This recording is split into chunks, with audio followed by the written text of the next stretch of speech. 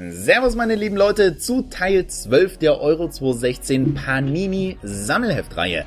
Heute packt mal wieder 5 Booster Packs aus. Oh, da hat man ganz kurz meinen Kopf gesehen. Ja, so soll es natürlich nicht sein. Hätte ich rausschneiden sollen, aber jetzt ist es drin. Vollkommen egal. So, wir werden jetzt einen kleinen Sprung machen. Genauso sieht's aus. Wir haben ja alles ausgepackt und äh, werden jetzt nach und nach das einfach mal durchgehen. Hier erst einmal ja, den, das Logo, den Pokal, mehr oder weniger. Leider haben wir das doppelt, aber kann man ja irgendwann tauschen. Von daher sehe ich da jetzt nicht das große Problem. Und deshalb springen wir gleich mal zum Gastgeber und haben da den ersten, nämlich Mangala von Manchester City. Der hat ja den französischen Pass. Dazu noch den belgischen und den kongolesischen. Also drei verschiedene Pässe hat er. Finde ich total verrückt. Caballé haben wir hier von Crystal Palace. Der spielt im Mittelfeld, gehört zur Stammformation.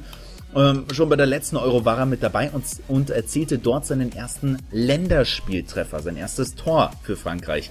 Den Herrn Shakiri haben wir doppelt, deshalb gehen wir weiter nach Wales zu Ashley Wilson von Swansea City. Vielleicht kennt man den ja. Äh, bei der WM-Quali 2010 hat er nämlich gegen Deutschland ein Eigentor geschossen. Gut, ist jetzt ein bisschen her, aber der Moritz, der wüsste, von, von wem ich da spreche. Jakob Laschikowski, den kennt aber wirklich jeder Hammer hier, spielt ja mittlerweile beim AC Florenz. Dann haben wir David Pavelka, der spielt im Moment in der Türkei, ist noch relativ frisch in der Nationalmannschaft, aber ihm gehört auf jeden Fall die Zukunft. Mal schauen, wie es bei der Euro aussehen wird. Gökhan Gönül haben wir hier von Fenerbahce. Der ist für seine Flanken gefürchtet. Also da muss man wirklich aufpassen. Und die Fußballlegende Zico vergleicht ihn gerne mit dem ehemaligen brasilianischen Nationalspieler Cafu.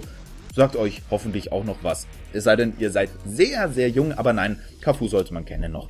Burak Yilmaz haben wir hier. Und der hält einen Rekord. Er ist nämlich der erste türkische Nationalspieler, der in vier Spielen in Folge jeweils ein Tor erzielen konnte. Hier bei Kroatien Luka Modric von Real Madrid haben wir hier. Dann noch Alan Halilovic, den haben wir doppelt, also schon den dritten Doppelten heute. Dann bei Bel Belgien haben wir Jason Denaya von Galatasaray Istanbul. Und er gilt als der neue Abwehrchef, weil ja Vincent Company, der Capitano, sehen wir auch hier im Bild, über ihm fehlt, verletzungsbedingt. Axel Witzelhammer, über den haben wir ganz kurz vor äh, ein paar Ausgaben gesprochen.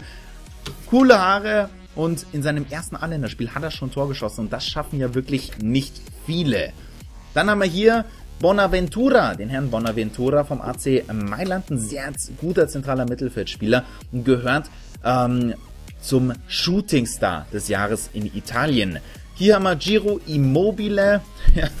wir kennen ihn ja alle. Ach Gott, nee, da, da sage ich nichts, da lege ich mir nur ein Ei.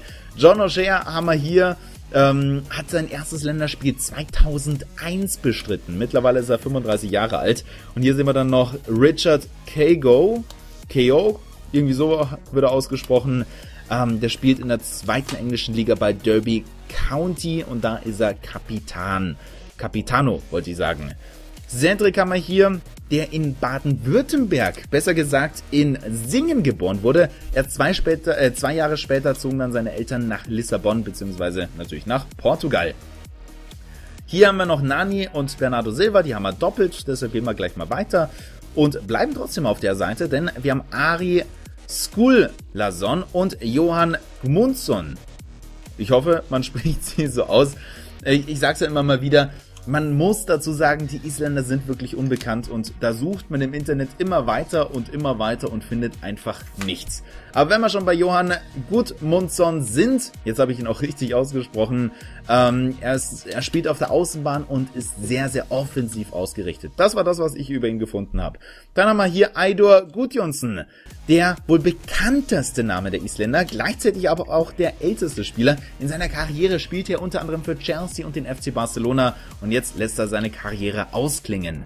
Hier mal Stefan Isanka von RB Leipzig und der hat ganz klar gesagt, ich will nicht in Österreich spielen, beziehungsweise in Österreich, also nicht für die österreichische Nationalmannschaft, sondern in Österreich. Die Liga ist ja auch ziemlich kaputt. Hier haben wir Lukas Hinterseher vom FC Ingolstadt, hat noch kein Tor für die Nationalmannschaft geschossen. Vielleicht ändert sich das ja bald. Hier dann noch Ungarn mit Adam Nagy. Und der wird im Moment von Top-Teams wie Chelsea oder auch Liverpool beobachtet. Mal sehen, ob er seine Chance bei der Euro nutzen kann. Hier Gergő Lovrencic wenn ich ihn richtig ausgesprochen habe. Ich sage das oft, aber es sind wirklich verrückte Namen, der sehr, sehr alt ist, beziehungsweise sehr erfahren. So heißt es ja mittlerweile. Gut, das war's für dieses Mal. Wir sehen uns bei der nächsten Ausgabe wieder. Ich wünsche euch was und ciao.